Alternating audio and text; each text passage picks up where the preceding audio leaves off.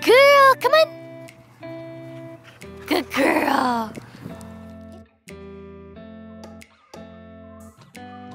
Hey guys, welcome back to another video. Today we're going to go over teaching your husky recall, the word come, and uh, off-leash recall, uh, all kind of in one video. Basically what that entails is first I'm going to teach you guys how to teach your husky what the word come means. Then what you're going to want to do is teach your dog uh, how to come from a, from a far distance or if they're distracted, and then how to introduce them to the e-collar and teach them come that way. So we're gonna go over those three main points in this video today. For starters, um, I do kind of want to talk about a little bit in terms of how you go about training a husky in the first place because they're a harder breed to train. You can do one of two things. Uh, most huskies are very food driven, so you just need to get a good high incentive treat.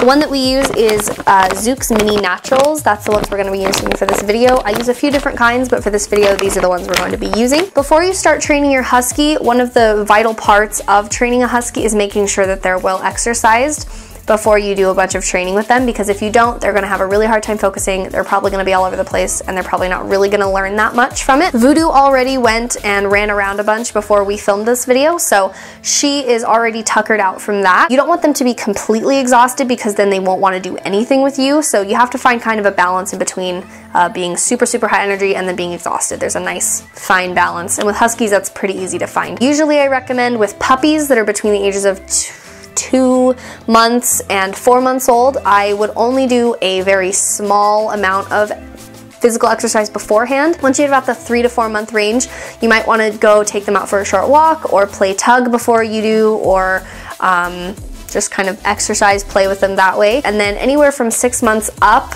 um, I would do 30 minutes plus of exercise. And then you can come home and they'll be much more focused for training. So first what I'm gonna teach you is uh, how to teach them the word come and what that means. I usually recommend only using treats for starters and then once you hit about the six month range is when they kind of start pushing things. That's when I start introducing things like prongs and e-collars. Okay, so for starters you might not see my head because uh, I'm just going to stand up and do this with Voodoo. There's two ways that you can do this. Either you can have them do a sit and stay and then teach them come or if you have a puppy it's pretty easy because they're little you can kind of lure them into coming back to you and that kind of stuff. So what I'm going to do for right now is I'm just going to have her come here. I'm just gonna come here and have her do a sit, okay, and have a stay. So what we're gonna do is we're just gonna teach basic what the word come means. Okay, stay. I'm just gonna take one step back, come. Yes, good girl. That is all you need to start with puppies or with full grown dogs.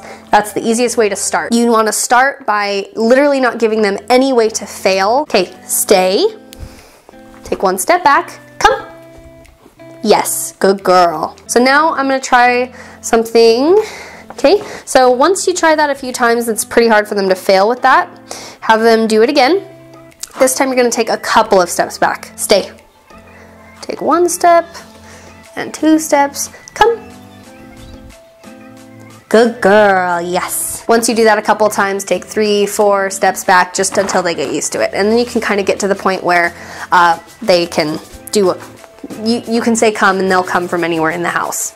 Okay, so now what I'm gonna show you guys is how you train come from a farther distance. I don't know if I'll quite be able to get everything in the frame, but what I'm gonna do is I'm going to have Voodoo do a sit stay in the other room, and then I'm gonna say come, and then she will come in here. Let's go.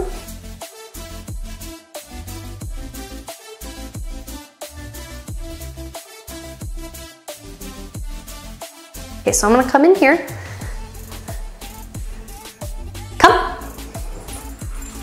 Good girl, yes. And we got both dogs. Okay, so that's pretty much how you uh, train a dog how to come in the house. Always, always good to train them in the house first or in a very controlled environment like this. So next we're gonna take the dogs to the park. I'm going to have Voodoo off leash there and first I'm gonna show you how to teach a dog how to come on a long line. I'm gonna teach you how to introduce the e-collar to your dog and teach them recall that way. So let's go do that right now.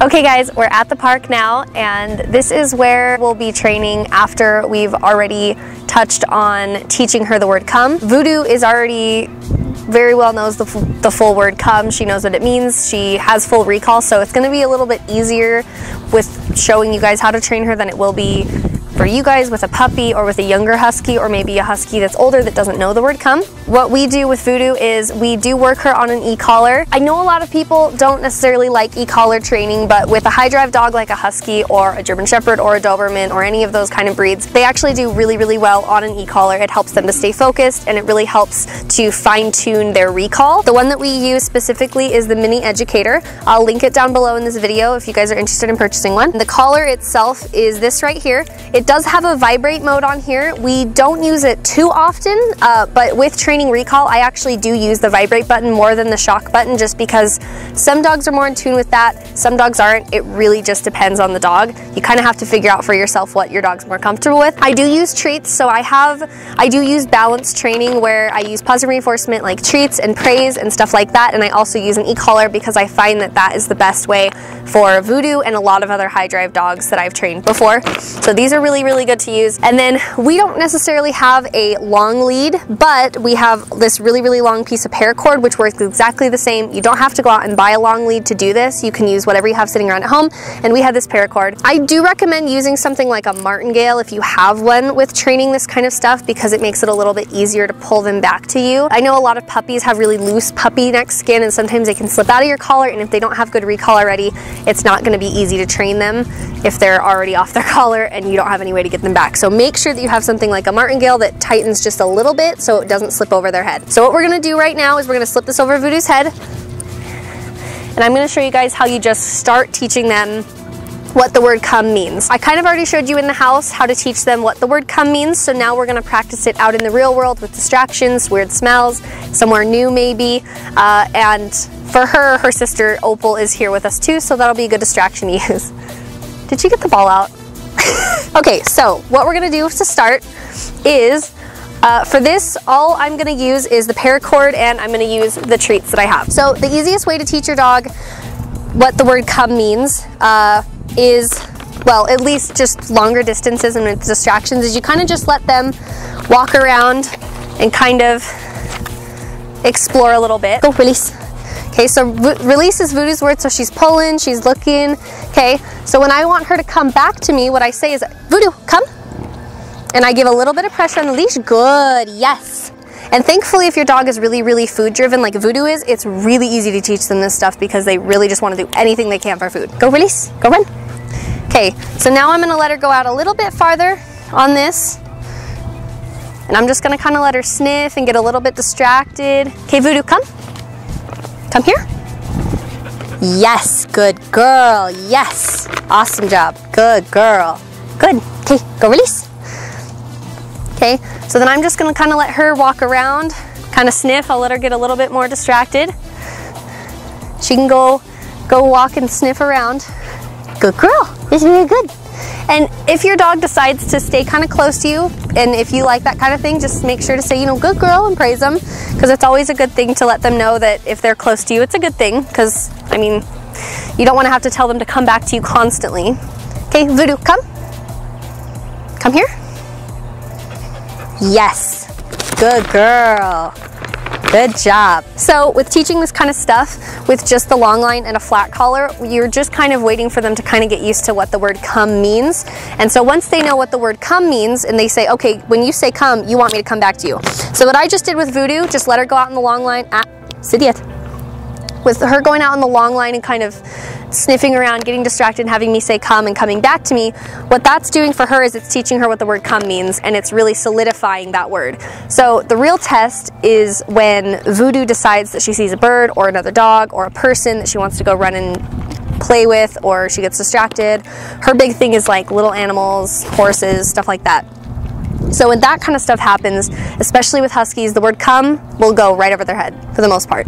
If you don't have a really, really solid come and they just kind of are going all over the place and they're not really listening, then even if they've done it before, it doesn't really do any good. I cannot tell you how many times you've been out and about and there are people who think that their dog knows what the word come means and all they do is shout it over and over and over and over and over and their dog doesn't come back and it's just not good for you, it's not good for the dog, and it just... It's not safe either. It's not safe, exactly. We've had a lot of instances where I've had to stick my foot out to keep dogs away from Voodoo because their owner is just over there shouting come and not doing anything and their dog's just sitting there not listening at all. The other th reason that that's a bad thing is because especially with dogs like this that are pushy and they're high drive, if they learn even one time that when you say come, they don't have to come back and you're not gonna enforce it, they won't keep coming back to you. It's really that simple.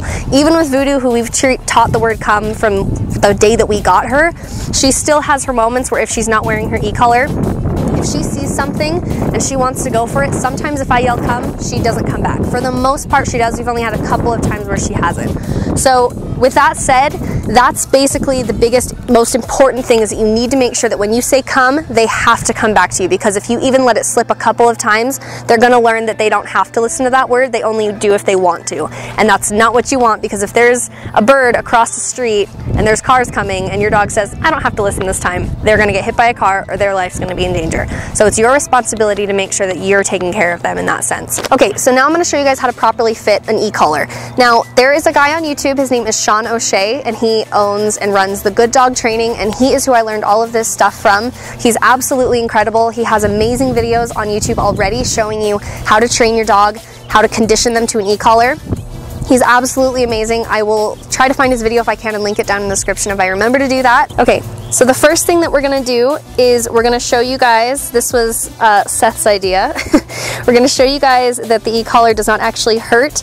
Uh, this one specifically is used for training purposes and so it actually works more like a TENS unit rather than an actual electrical shock. So as you can see, it's at level 23. This one actually does go up to level 100. Okay, so he's at 20, He's got it on his fingers. If I turn the collar on. Yeah. Okay, so as you can see, when it turns red, it's actually shocking him. It doesn't hurt. Nope. It's just kind of like a TENS unit. It just sends an electrical impulse into the muscles. It actually kind of feels good with all my climbing fingers. it tenses up their neck muscle to kind of tell them, hey. Breaks their focus and their concentration on what they were going after. Exactly, yes. So this is kind of just showing you guys, this is with shock, by the way, not vibrate. This is shocking his hand and his fingers. And it doesn't hurt. To do it all day. Yep. Doesn't hurt at all. Okay, so now I'm gonna show you guys how to properly put the e-collar on Voodoo's neck. The number one mistake that a lot of people make with using e-collars is that they don't have that on the right place on their dog or they don't have a proper contact point. Make sure that you put the long prongs on to make sure it's touching their skin because if it's not and they turn their head the wrong way and you're like, hey, they're not listening and you're like turning it up, turning it up and you finally hit them and they have their neck the right way, you're gonna hit them way too high and they're gonna either yelp or they're gonna get freaked out. So it's just not a good thing to do. So make sure that this the prongs are long enough for their fur. So the number two thing that you wanna do is you wanna make sure it's on the right spot on their neck. So where it needs to go is it needs to go right here next to their neck. Now as you can see, Voodoo is not afraid of the e-collar. She doesn't dislike it in any way. It's just another form of training. She's not scared of it, clearly. so what we're gonna do is we're gonna put it right here. And if you feel they're on their neck, they've got a neck muzzle just like this on our neck. So you're kind of gonna wanna try to position it right there, just right behind their ear right there. And then what you do is you're just gonna wanna kind of cinch it down. You don't want it to be too loose and you don't want it to be too tight because if it's too loose, it can move around on their neck and it can chafe on their skin and that can actually cause sores. The actual prongs themselves, if you're correcting with it, will not cause sores. Uh, the only thing that will is if it's chafing on their neck. So where it's positioned right on her neck, what I'm gonna do is I'm gonna cinch it down, not too tight, but just where it feels a little snug, make sure you can still get two fingers underneath there. So now what I'm gonna do is I'm just gonna kind of pull the fur, not hard, but just kind of move it around underneath the prongs to really make sure that you've got a good contact point.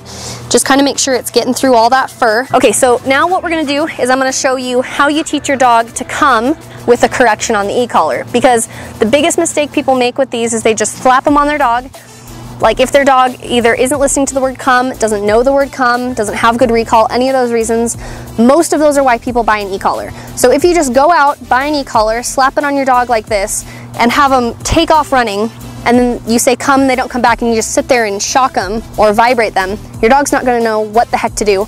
They're gonna freak out. It's really easy to do it the right way, but it's also really easy to not do it the right way if you don't do enough research. So with the Mini Educator, these two buttons on the side, the black and the red, are both shock. This is quick shock, and this is you can hold down for up to 10 seconds.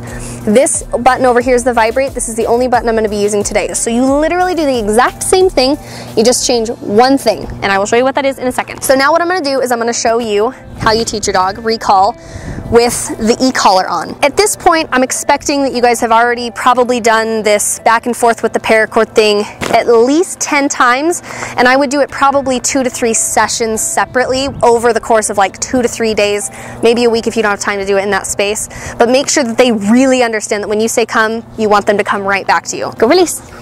Okay, so she's gonna go around, kind of sniff, get a little bit distracted again, okay? Now I've got the e-collar. Now what I'm gonna do is, when I say come, I'm going to just tap the vibrate button and do the exact same thing with a little bit of pressure on the collar. Okay, Voodoo, come. Good girl. Oh. Yes. Okay, so she's gonna go smell some stuff. Voodoo, come.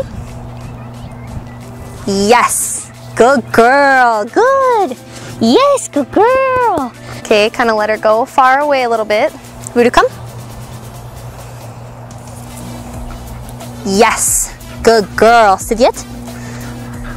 Good. So I don't know if you guys saw that when uh, she was sniffing, but she didn't come the first time when I said come.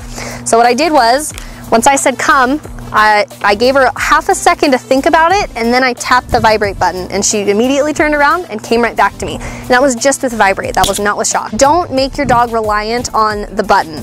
Give them a couple of chances in between your sessions if you feel like they're getting a lot better with coming back to you right away. So that's basically how you do it and you just keep doing it, keep doing it, keep doing it. And then with this, you can eventually just let them off leash. Okay, so now we're gonna take this off of her. And as a reminder, only do this if you trust that they will come back when you hit the button. Now, what we'll do is we'll play a little bit of fetch with Opal. Okay, ready? Let's go.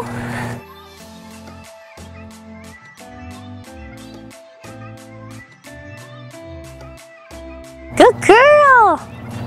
Okay, so that kind of covers the gist of how to teach your husky to be off leash initially and some huskies do really, really well without an e-collar, but most huskies, you kind of do as they get older need to require, use the e-collar on them. You want it to be a positive experience for them because, believe it or not, e-collars can be a positive experience, and a lot of people don't think they can, but they definitely can be if it's done right. That's all I have for you guys for the video today. I know that this was really, really requested from a lot of you and I wanted to kind of come out with more training videos for you guys. We will be coming out with more training videos in the future. Hope that you guys enjoyed this video. Uh, any negative or harassing comments about the tools that I use, choose to use with my dog will just be deleted and you will be blocked. I really don't care about that kind of negativity. I believe that whatever training method works for your dog, works for your dog. If you want to just use positive reinforcement training, that's totally fine. If you want to use just prongs, that's fine. If you want to use all the tools, that's totally fine as long as you're doing it right. I don't care. With that being said, I hope that you guys enjoyed this video. Make sure you subscribe to our channel because we put out videos every other day. Make sure you give this video a like and comment any other video suggestions that you have. And make sure to also comment if you guys liked this video, if you found it educational, or if there are things that you wanted me to uh, touch on from the video. Because if there is, I can always make a follow-up video with a bunch of questions if you guys have them.